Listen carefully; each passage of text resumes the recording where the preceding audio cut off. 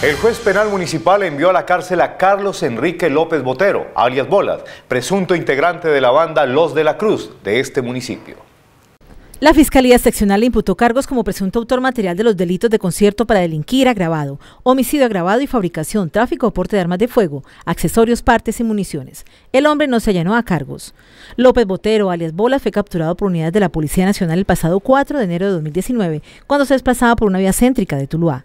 El juzgado tercero penal municipal con funciones de control de garantías de Buga había expedido una orden de captura en su contra. Entre las víctimas se encuentran dos menores de edad y una mujer en estado de embarazo. Durante el recaudo de evidencias y el material probatorio, la Fiscalía logró establecer la presunta responsabilidad de Carlos Enrique López en cuatro homicidios. El asesinato ocurrido en el año 2003 en la carrera 48 con calle 13, sector conocido como La Cuerera, donde murieron John Jairo Rivera Murillo y Blanca Rosa Henao. El ataque armado ocurrió en el año 2013 en la parte externa del puesto de salud del barrio La Cruz, donde fue asesinado por sicario Jonathan Marín Ortiz. El crimen ocurrió en el año 2016 detrás del puente elevado Vía La Marina, donde fue asesinado Julián Antonio Cerón Castro.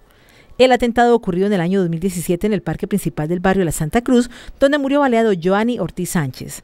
La banda Los de la Cruz es una organización delincuencial que, de acuerdo con las investigaciones de las autoridades, está dedicada a tráfico de drogas y homicidio selectivo en la modalidad de sicariato.